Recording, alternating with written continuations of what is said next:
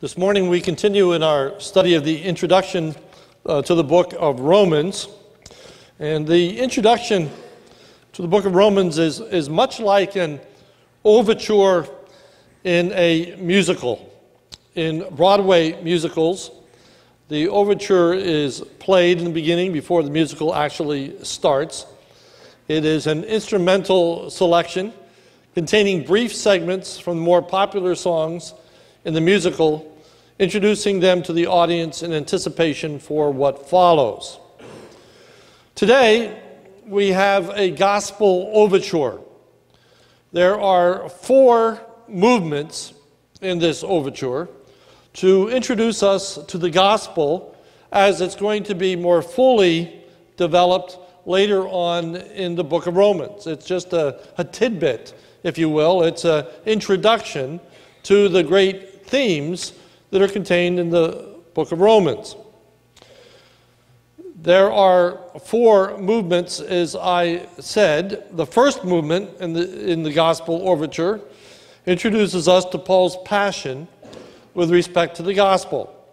We saw that Paul was very passionate about the gospel last week because he was a servant of the Lord Jesus Christ, because he was called to be an apostle, and because he was separated unto that gospel. The second movement is the promise of the gospel that it was given in the Old Testament and brought to pass through the person of the Lord Jesus. The third movement is what we're going to be considering this morning, and that is the purpose of the gospel. The purpose of the gospel. Why did God give us the gospel? Why was Paul set apart for the gospel? If you look at Romans 1 5, it says, Through whom we have received grace and apostleship to bring about the obedience of faith for the sake of his name among all the nations. So from verse 5, we find out that the purpose of the gospel is twofold.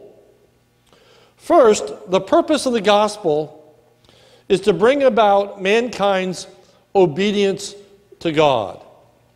The purpose of the gospel is to bring about mankind's obedience to God. Notice verse 5. Through whom we have received grace and apostleship, now these words, to bring about the obedience of faith. The structure of the phrase, the obedience of faith, is a genitive and could be understood in two different ways. The first way to understand the phrase is that it means the obedience that consists of faith. In other words, the obedience that is being referred to is faith. By faith, you are obedient to God, and that is the purpose of the gospel. The second way is to understand the phrase to mean the obedience that comes from faith that is the obedience that faith produces. Now, that might seem like a pretty trite distinction, but it's actually extremely important in the book of Romans. And the difference is not purely academic. Let me give you some quotes to help you understand the significance of the difference. For example, Robert Haldane, in his commentary entitled an exposition of Romans states the following, and I quote Paul, as an apostle, was commissioned to preach the gospel in order to the obedience of faith. Some understand this of the obedience which faith produces. But the usual import of the expression, as well as the connection in this place, determines it to apply to the belief of the gospel. Obedience is no doubt an effect produced by that belief, but the office of an apostle was, in the first place, to persuade men to believe the gospel. This is the grand object, which includes the other. Gospel reforms those who believe it, but it would be presenting an imperfect view of the subject to say that it was given to reform the world. It was given that man might believe and be saved. He says it is wrong to view that the gospel was given to transform the world. It wasn't to bring about obedience that results from faith. He says it was given that men might believe and be saved. The gospel is about how your sins can be forgiven and how you can go to heaven.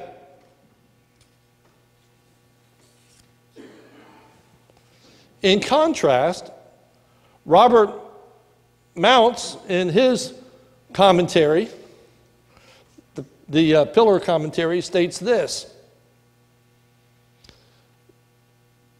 The universal scope of the gospel is expressed in Paul's definition of his task, calling people from among all the Gentiles to the obedience that comes from faith. The promised Messiah did not come for the benefit of the Jewish nation alone. The gospel is good news for all who respond in faith. But faith inevitably issues in obedience. Faith is not intellectual assent to a series of propositions, but surrender to the one who asks us to trust in him. To surrender is to obey. Biblical faith is not some mild assent to a collection of ethical maxims, but an active commitment of one's life. Obedience is the true measure of a person's faith. E. Best comments that faith and obedience go inextricably together.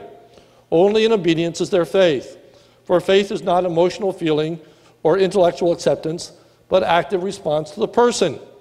Paul's desire was to take the gospel to the entire world and see the nations turn to God in a faith that changes conduct. And the other response would be inadequate. Apart from a changed life, there is no real faith. So the question is a very significant one. At the heart of the issue is the gospel about how to get to heaven, or is the gospel about how people can come into a right relationship with God? The ESV Study Bible sides with the interpretation that it is the obedience that produces faith. If you have an ESV study Bible, your note says this Paul's mission to all people groups, his goal to bring about the obedience of faith. Obedience is required, but it is an obedience that flows from saving faith and is always connected to ongoing faith. Although Paul can speak of people's initial response as obeying the gospel, it is unlikely that obedience of faith here refers only to initial saving faith because the purpose of God's apostleship was not merely to bring people to conversion, but also to bring about transformed lives that were consistently obedient to God. Paul's ultimate goal in preaching to the Gentiles is for the sake of his name. That is Jesus Christ, that he will be glorified.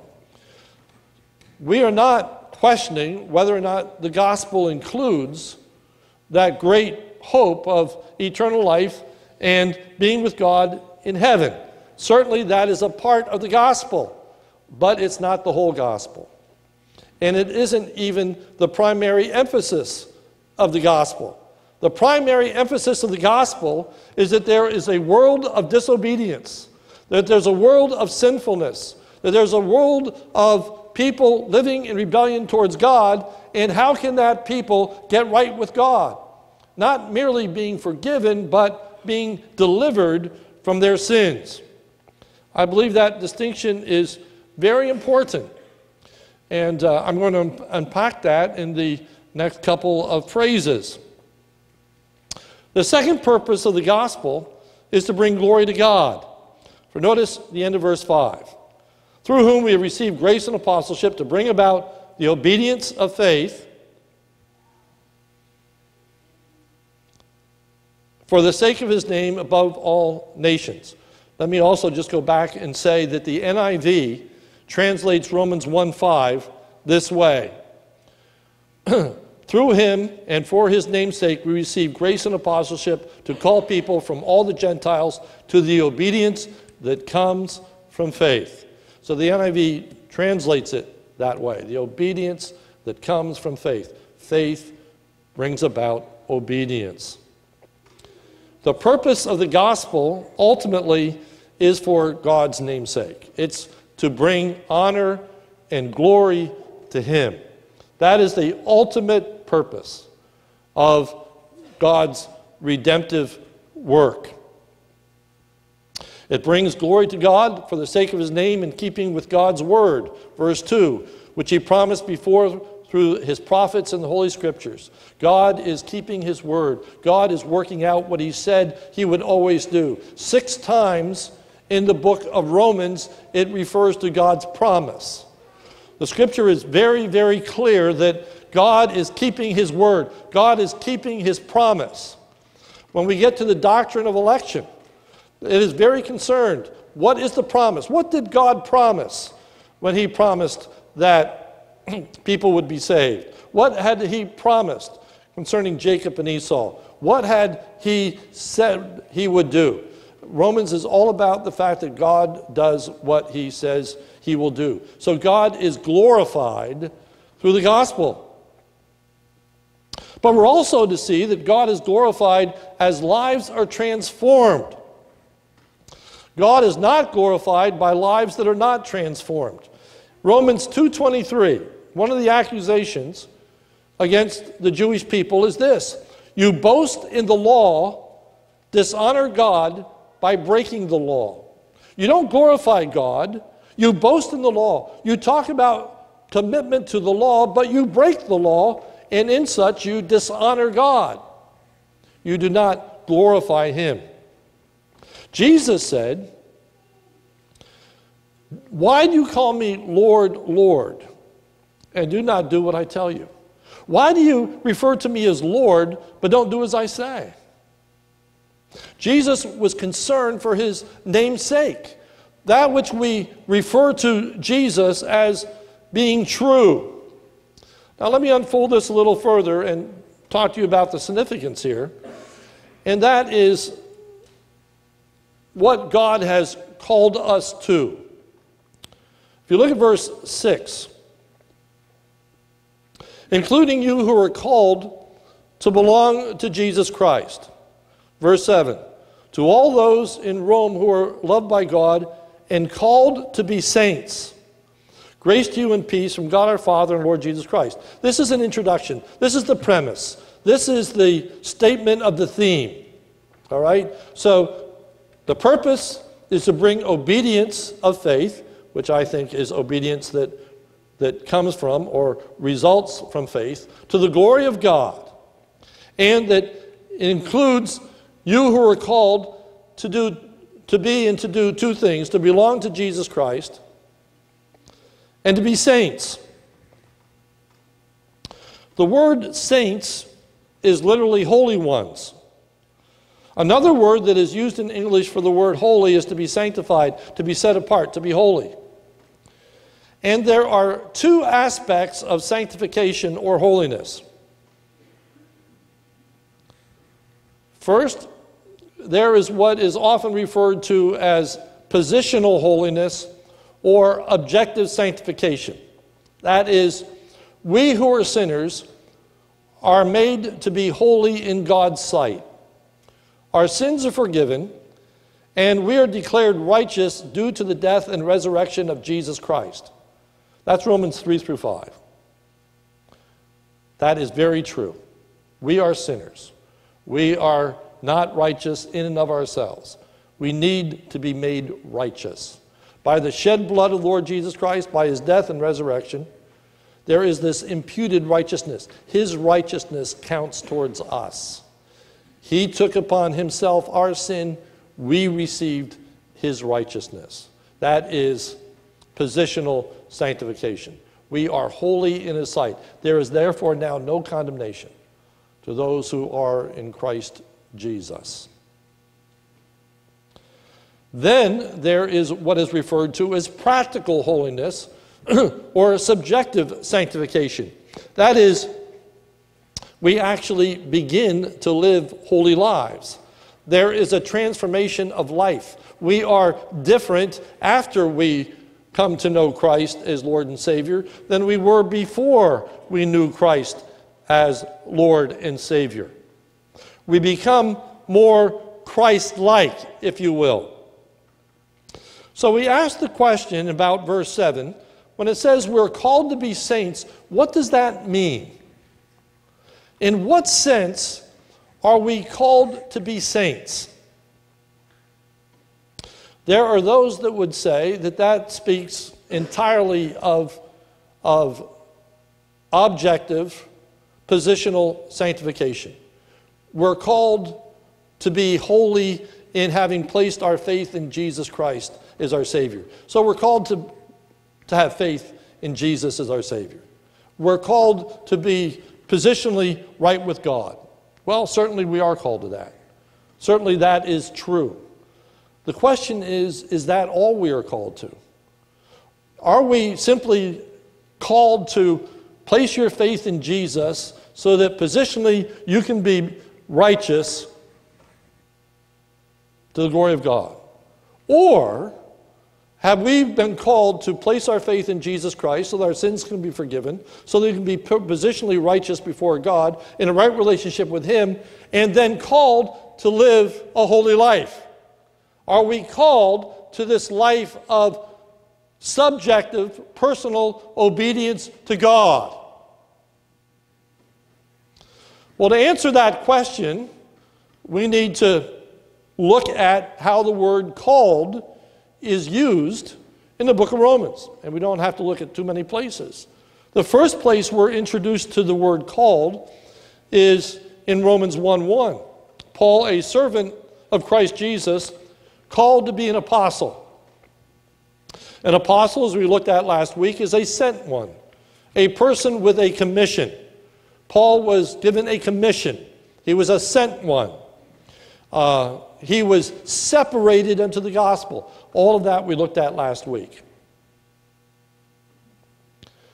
When it says that he was called to be an apostle, was that simply objective calling? Did that simply mean that he was called to the position of an apostle? Was he called to the position of apostle? Of course he was. There's no question. Paul was called to be an apostle. But when he says that he was called to be an apostle, does that mean that he was simply called to a position of which there was no action, of which there was no activity, of which there was no involvement? Was he called to be a sent one so that he could just sit? Was he called to be a sent one so that he could have a relationship with God that didn't manifest itself in any practical way?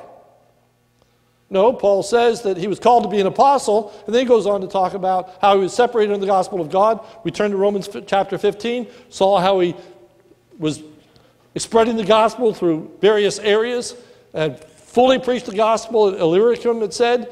He said he'd been hindered to coming to them up until now because he had places to go to preach the gospel. When Paul was called, he was called not just to a position, but a position that was then empowered and enabled by God to fulfill the purpose for which he was called. I submit to you the same is true of us. We are called to a position, we're called to a place of holiness before God so that we can be acceptable in His sight, so that we can be found pleasing to Him. But we are not called to a position just so that we can sit there and enjoy this position of being right with God but now we are called to subjectively live our lives under God's authority and obedience, to actually be holy people. Let's look at the only other place that the word called is found. It's found in Romans chapter 8. If you turn with me there, it's probably the two, or at least one, of the most famous verses in the Bible. Most people know John 3:16. I would say Romans 8:28 is a close second.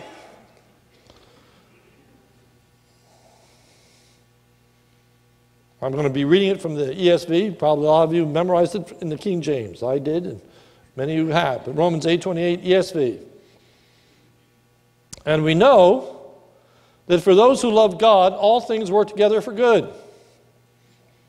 For those who are called according to or in keeping with his purpose. So here is this statement that all things work together for those who are called of God, those who are called according to his purpose. That takes us all the way back to this introduction. But notice what that purpose is in verse 29. For those whom he foreknew, he also predestined to be conformed to the image of his Son, in order that we might be the firstborn among many brethren. Many brothers, not many brethren. Okay.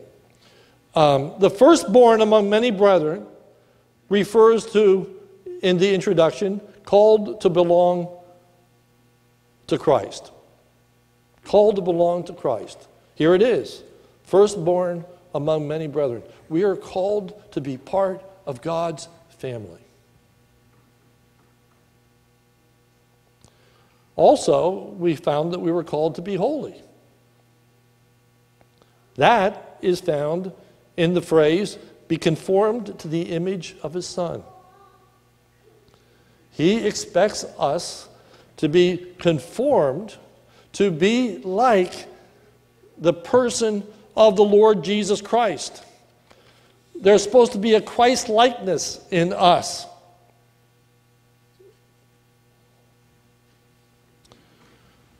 As we work our way through Romans, and I, and I can't take you on a sightseeing tour of each chapter, so let me just arrive at the conclusion of the first premise, and that's found in Romans chapter 12, if you turn there.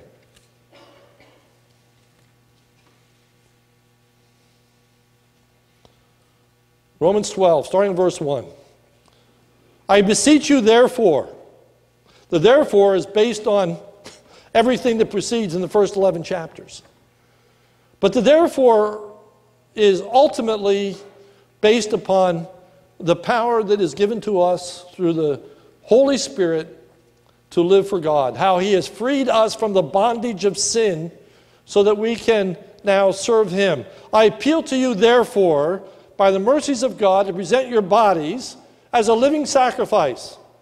Notice the next word holy and acceptable to God. We are to be presenting our bodies. Earlier in Romans, it said, Don't present your bodies for wickedness, but present your bodies for righteousness. We are in our worship to be presenting our physical bodies, our hands, our feet, our minds, our actions. We are to be presenting them to God wholly. Verse 1, which is your spiritual worship, which King James says, which is your reasonable worship. It is, uh, be not, uh, I beseech you, therefore, brethren, by the mercies of God, present your bodies living sacrifice, holy, acceptable God, which is reasonable service, is the King James. Reasonable service, reasonable worship, spiritual worship. This is what spirituality is. Now, notice verse 2. Do not be conformed to this world, but be transformed by the renewal of your mind. Be transformed. Be transformed. Be different than this world. Because God has called you to be holy, God has given you the ability to be holy, so be holy. By the renewal of your mind. And we'll look at that in much greater detail. My point to you is that it is clear in the book of Romans that we are called not just to believe in Jesus and accept a positional holiness and then live any way we want. That's not the gospel. The gospel is God takes you as you are. God takes you as you are. The gospel is not God takes you as you are so you continue to live as you are. God takes you as you are so that now you can live a different life to the honor and glory of God. To be set free from the bondage. That's why I included 1 Peter this morning in our call to worship, which says specifically, But as he who has called you is holy, you also be holy in your conduct. Makes it absolutely clear what we're talking about. It's talking about our activities. Be holy in your conduct. That is a universal thought. But you see, there's tremendous theological problems when you start talking about a gospel that simply offers forgiveness with no transformation of heart or life. That calls on you to simply ask Jesus to take you to heaven with no concern at all about unholiness or unrighteousness. That's why that gospel doesn't require repentance. That's people don't even have to be sorry for their sins. People don't even have to want to be free from their sins. They simply don't want to be having to pay the penalty for their sins. The gospel isn't simply accept Jesus so you can be forgiven the penalty of your sins. The gospel is receive Jesus so you can be free from the penalty of your sin. You can be free from the power of your sin. And ultimately, you're going to be free from the presence of your sin. You're going to be in God. Uh, you're going to be in eternity with God where you are going to be sinless, not just positionally, not just, okay, we're all in eternity forgiven and we're robbing from each other, we're lying to each other, we're stealing from each other. No, we are in eternity a holy people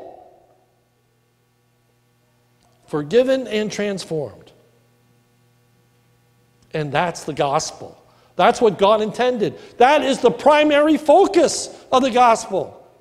That's why so many people wonder, you know, what is life all about? I accepted Jesus my Savior. Now I'm just waiting to go to heaven. And when I am in heaven, what am I going to do there? The gospel is the gospel of the kingdom. It's a truncated message. The gospel, the kingdom is coming. A kingdom in which God is going to establish here on this earth. It's going to be a new earth. There's going to be a new heaven. There's going to be a new earth. And there's going to be living here in complete righteousness and holiness. And you get to be a part of that. And preparation for that kingdom is to live a life now of godliness and holiness of committing yourself to Jesus Christ.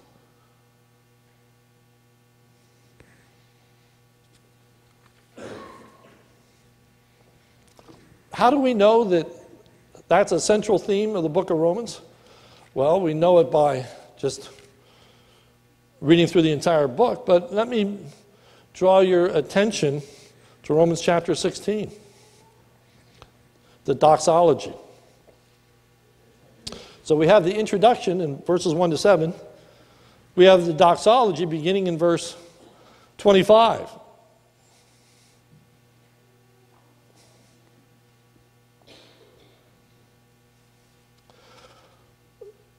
Here's the doxology. Now, to him who is able to, if you mark your Bibles, circle the word strengthen. Now to him who is able to strengthen you, according to my gospel and the preaching of Jesus Christ. So the gospel and the preaching of Jesus Christ is able to strengthen you, empower you, not just forgive you, but strengthen and empower you. According to the revelation of the mystery that was kept secret in long ages, verse 26, but has now been disclosed and through the prophetic writings has been made to all nations, according to the command of the eternal God, to bring about the obedience of faith. God has strengthened you to bring about the obedience of faith. God has empowered you. God has enabled you. God has strengthened you. God has given you His Spirit so that you can be obedient to the faith. Verse 27 To the only wise God be glory forever through Jesus Christ. Amen.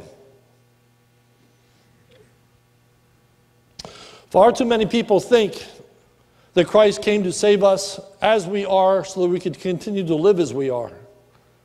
Christ came to save us as we are, a people dead in trespasses and sins, so that we could walk in newness of life. Listen to Romans 6. What should we say then? Okay, he has just laid out the doctrine of justification, of the fact that your sins can be forgiven by faith in the Lord Jesus Christ, that it's not based upon your works, it's not based upon your goodness, it's based solely upon Jesus Christ's death and resurrection.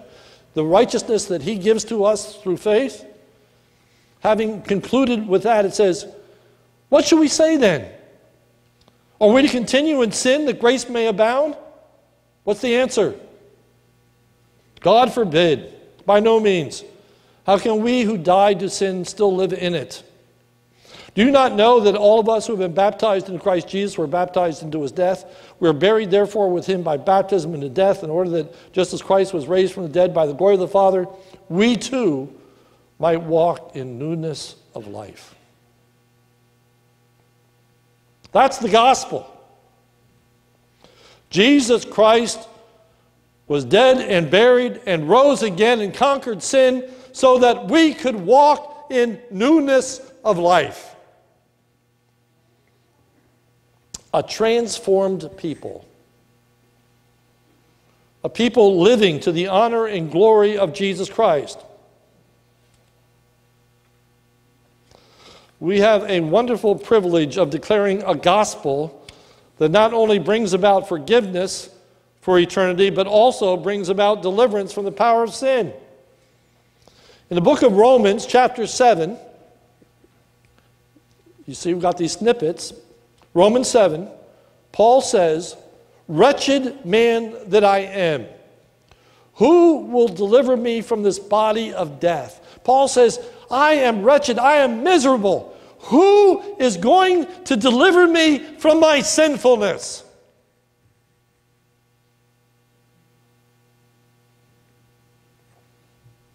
Thanks be to God through Jesus Christ our Lord.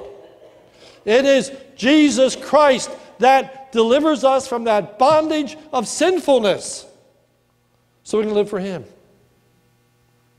That's the gospel. But you see, there are many, many people who don't want to be delivered from their bondage of sinfulness. There are a host of people who don't hunger, who don't want to repent, who don't recognize what their sin is doing to themselves, to their families, or to God. They could care less. The gospel is not, you can care less and still go to heaven. That's not the gospel. The gospel is that there is a way for you to be delivered from your sin. There is a way for you to overcome. There is a way for you to conquer. Now, not perfectly by any means, but we can make strides. And the great gospel is that one day, when the Lord Jesus Christ returns, we really will be completely holy. Not just viewed as holy, we will be holy. We'll be different. We'll be changed. We'll be sinless. Not just in position but objectively. Why has God called you to a life of holiness? For his name's sake. To bring honor and glory to God.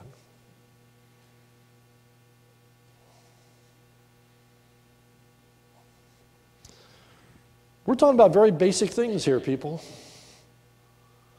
We're talking about theology 101.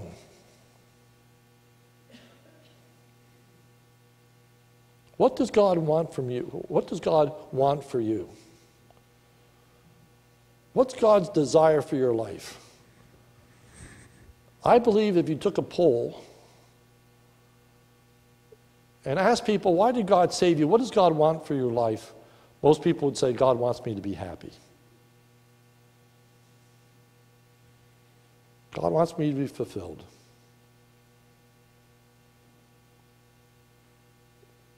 And so, whatever brings me that happiness must be good. Whatever brings that fulfillment, it must be good. Whatever makes me unhappy, that can't be the will of God. That, that can't be what God wants for my life. What God wants from us is holiness. What God wants from us is righteousness. What God wants from us is submission to his authority. And sometimes that means tough things come into my life. That means sometimes I get sick. Sometimes I get aches and pains. Sometimes people don't treat me the way that I want to be treated. But we know that all things work together for good to those that love God, who are called according to his purpose. For whom he did foreknow, he also did predestinate to conform us to the image of his Son. His Son, who was not called to a life of pleasure, whose God's purpose for his life was not simply to be happy. God's purpose for his son was to do his will. Jesus said, I delight to do thy will, O God.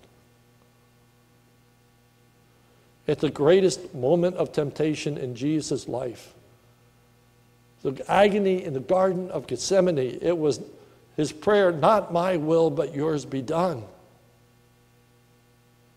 We're called to be conformed to that image. Not my will, not my pleasure, not my delight. What you want for my life, what is going to best serve you, what is going to bring the greatest glory to you. The gospel is about bringing glory to God. It's not a man centered gospel,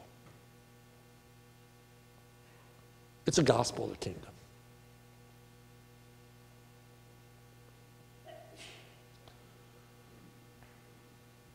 That difference, I can't tell you how important that is. And as we work our way through the book of Romans, I think you're going to understand more clearly how diff- different that is and how important that difference is. But just understand that for many people, the gospel that's being presented is quite different than the gospel that's outlined in the book of Romans. And it explains why Christendom is the way it is today. For people are professing Jesus as Lord that have no intention whatsoever of bringing their lives under his authority. They just don't want to go to hell. Well, the gospel is yes, wonderfully, you can be forgiven your sins if you confess your sins. To confess is to say the same thing about. If you say the same thing about your sins that God says about your sins, you can be saved. That they are sin, that they are wrong, that they need to be repented of, they need to be forgiven. They do dishonor God. Lord, forgive me so that I can be saved saved and be in your presence, saved and delivered from this wretchedness that I am, that I can live a different life, that I can be transformed to your glory, to your praise. Let's pray. Almighty God, help us. Help us as your people, as those who have believed the gospel of the Lord Jesus Christ. May we understand that though we have different gifts, though that we have different talents and abilities that we looked at last week, Lord, there is one universal calling for every single person that names the name of Christ. There is one duty that everyone in this room has if they've named the name of Christ. And that is to be holy.